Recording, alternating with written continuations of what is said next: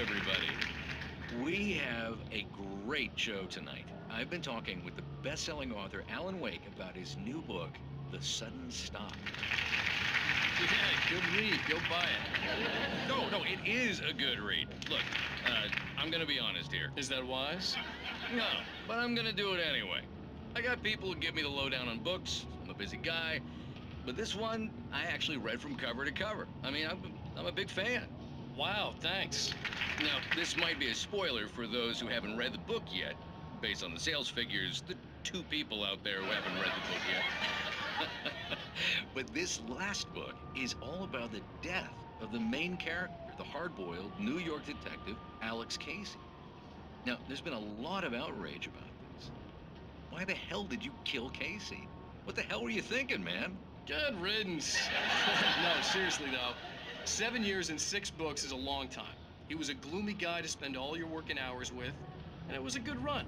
But it's time to explore new things. My next book will be a departure from the old for me. You selfish bastard, always thinking of yourself. Well, you've certainly given us a lot of entertainment over the years. And now that you mention it, Casey was a gloomy guy. Never had much luck with his love life with the ladies. Was that autobiographical in any way? Yeah, no kidding. Casey's lady friends tended to die on him. With Casey, it was all about his pain.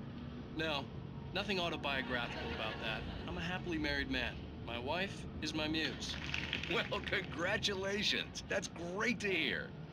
So, how's the publicity tour been treating you? Good, great.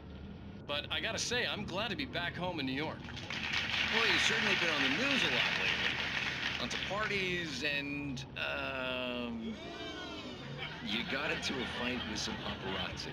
Oh, man. Well, that guy was really in my face. I lost my temper. I know that wasn't cool. Well, you are famous for that temper. Well, I did also write several books. well, your latest novel is called The Sudden Stop, and it's in bookstores now. Go get it. That means the two of you out there who haven't. Ladies and gentlemen, that's all we have for you tonight. I want to thank all our guests for the evening Alan Wake, Sam Lake. Once more, do the face for us, Sam. And our musical guests, Poets of the Fall. Thank you. At least I've been funny. I told myself I could live with that. I didn't say anything stupid if that's what you want to know. Are you going to start with me about drinking now?